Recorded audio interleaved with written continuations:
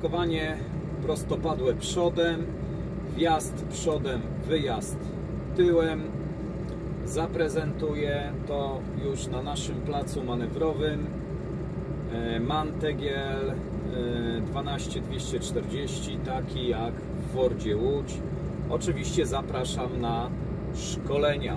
Parkując prostopadle przodem, nie zapominamy o włączeniu kierunkowskazu, bo to jest najczęstszy błąd. I trzeba pamiętać o tym, popatrzmy, mamy tu trzy linie. E, Nie możemy, zaczynamy od tej drugiej linii, czyli oddalonej od stanowiska o 12 metrów. Nie możemy jej e, w trakcie wjazdu przekroczyć. Nie możemy również w trakcie wyjazdu przekroczyć. E, Przypominam, najechanie nad linię obrysem jest również błędem. Jeżeli chodzi o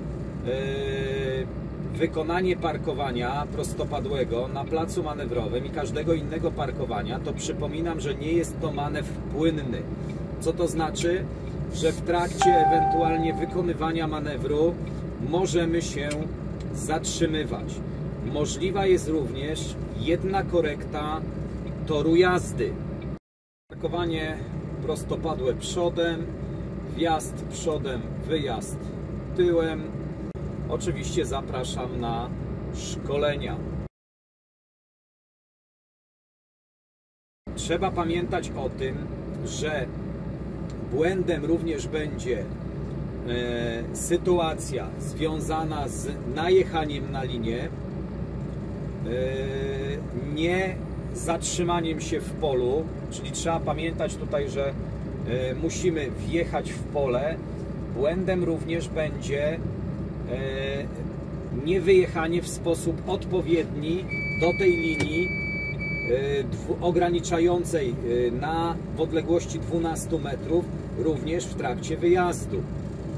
Wjechaliśmy, teraz wyjeżdżamy. Czyli żeby ewentualnie do tej linii się zmieścić, to już w trakcie wyjazdu trzeba pamiętać o tym, żeby obserwując prawe lusterko, oczywiście lewe również, ale tutaj prawe, zbliżyć się e, do tego pachołka prawego, czyli zacząć wcześniej skręcanie. Oczywiście pamiętając o tym, żeby nasz obrys nie e,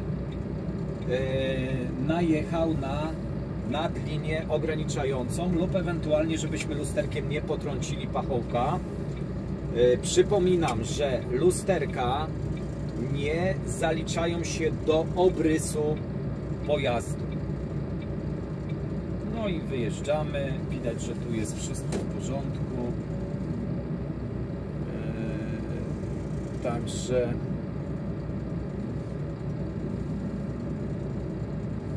spokojnie zobaczmy, można się zmieścić odpowiednio to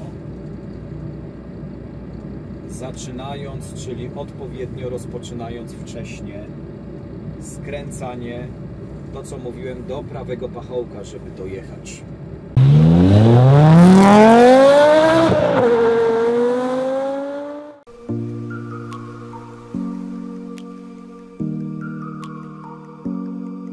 Informujemy wszystkich zainteresowanych, że od dnia dzisiejszego nasze produkcje będą publikowane na nowym kanale YouTube. Adres do naszej nowej strony znajdą Państwo w opisie. Już teraz zapraszamy do subskrybowania oraz zaznaczenia funkcji powiadom, aby być na bieżąco i dostawać powiadomienia za każdym razem, kiedy tylko prześlemy nowy materiał.